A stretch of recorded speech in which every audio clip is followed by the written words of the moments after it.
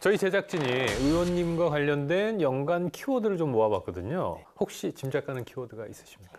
서울시 의원으로 막 뭔가 도드라지게 2년 동안 기똥차게 해냈다 그러면 떠오르는 키워드가 팍팍 있어야 되는데 아직 없는 거 보니까 아직 덜 열심히 한 거예요. 죄송합니다. 네, 네. 아닙니다, 아닙니다. 자, 그러면 어떤 키워드들이 있을지 확인 한번 해보도록 하겠습니다. 어, 13대 1이다.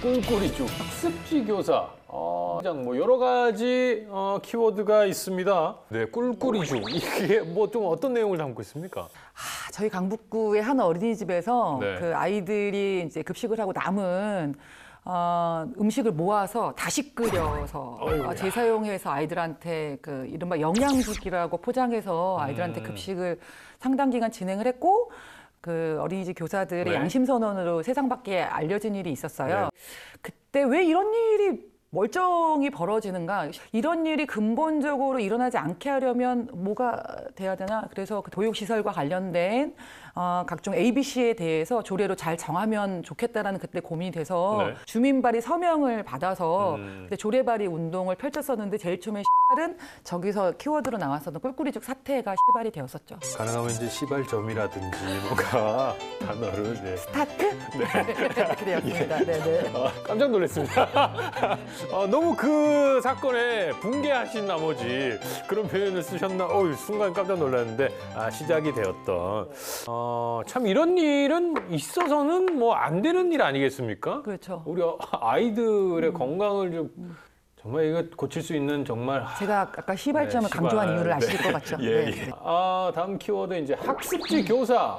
어, 이거는 뭐 학습지 교사를 직접 하셨나요? 아, 네. 제가 그 2000년에 처음으로 이제 지금의 정당은 아니지만 당시 이제 정당에 가입을 하고 그 당시 국회의원 선거가 있었어요. 네. 그래서 그때 이제 자원봉사로 하고 나서 어, 한 1년간 상근 활동을 하는데 그때 급여가 20만 원이었거든요. 어. 생계를 위해서 사실은 택했던 직업이었는데 네. 그 지역이 어. 제가 이제 구의원으로 출마했었던 그 지역 아. 이딱 이제 겹쳐지는 네네. 지역이었어요. 네. 그래서 당시에 이제 저희는 이제 어머니 고객이신데 네. 어, 학부모님들이 많이 도와주시고 자원봉사도 해주시고 아. 해서 더 도움도 많이 받았었습니다 선거 때. 어, 아, 네. 내가 한번 정계에 한번 진출을 해봐야 되겠다. 뭐 이런 생각을 하기가 사실 좀 개연성이 떨어지긴 하거든요. 그 렇죠. 자연스러운 일은 사실 아닌. 거죠. 예. 음. 그 어떻게 하다가 어, 내가 한번 정치를 해봐야 되겠다 생각을 하셨어요. 그때 이제 정당에서 2006년부터 지방선거 제도가 바뀌어요. 네. 뭐냐면 예전에는 이제 기초의원의 경우 구의원의 경우 한동에서 1등씩 한 명만 뽑았거든요. 음. 그러다가 2006년부터 바뀌어가지고 네. 중선거구제라고 해서 어, 선거구제 동네 크기에 따라서 3등까지 뽑기도 하고 네. 2등까지 뽑기도 하고 이렇게 돼요. 네. 그다음에 전업에 수당이 나오니까 전업 활동할 수 있는 기반이 되었으니 모두 출마하자. 그래서 약간 출마 자체가 캠페인이었던 분위기가 음. 어, 있어서 네. 그러면 저도 출마를 하겠습니다. 이렇게 해서 준비를 했었습니다. 아, 나 정치를 해보겠다. 네. 보통 말리거든요. 뜯어 말리죠. 네. 그때 주변의 분위기는 어땠습니까? 부러울 수도 있겠다. 얘는 약간 그런 마음의 준비들이 되어 있으셨던 분위기도 있었던 네. 것 같고요. 그리고 이제 보통은 선거가 굉장히 고비용의 어떤 시스템인데 네. 그냥 몸으로 때우겠다 이런 게 있었어요. 그래서 어. 비용도 많이 들지 않을 테고 지금보다 그게 벌써 한 14, 5년 네. 전이니까 훨씬 저 지금보다 젊었죠. 아, 그렇죠. 아이 못해보랴 이러는 패기가 더 앞섰던 것 같기도 해요. 아, 네네. 주변에서 충분히 아 그럴만하다, 어, 나갈만하다 아, 생각을 하셨을 거라고 생각이 듭니다. 다른 키워드가 딱 지금 눈에 띄네요. 지금 흐름하고 잘 맞는데 어, 어떤 에너지 얘기하다 지금 13대 1이거든요.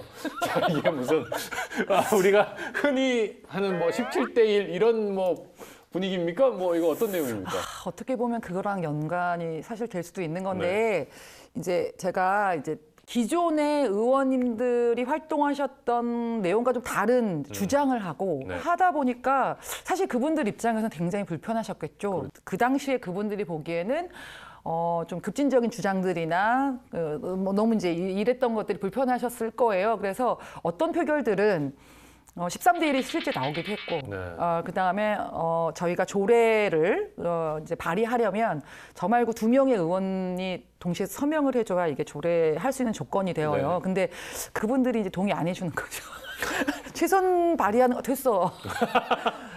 이렇게 하다 보니까 아무래도 저렇게 13대 1, 이 1인 사례들이 많이 나왔었던 것 같아요. 어. 자 마지막 키워드 한번 확인해 보겠습니다. 아 요즘에 뭐 아주 어, 뜨겁습니다. 아, 성평등 어떤 내용을 담고 있습니까? 두 성 간에 평등하지 못한 문제들도 사실 있고 네. 이제 이제 소수자에 대한 어, 평등까지 이야기하는 세상이 진짜 점점 되고 있는데 네. 성평등 관련한 조례를 발의해서 통과가 됐었거든요. 네.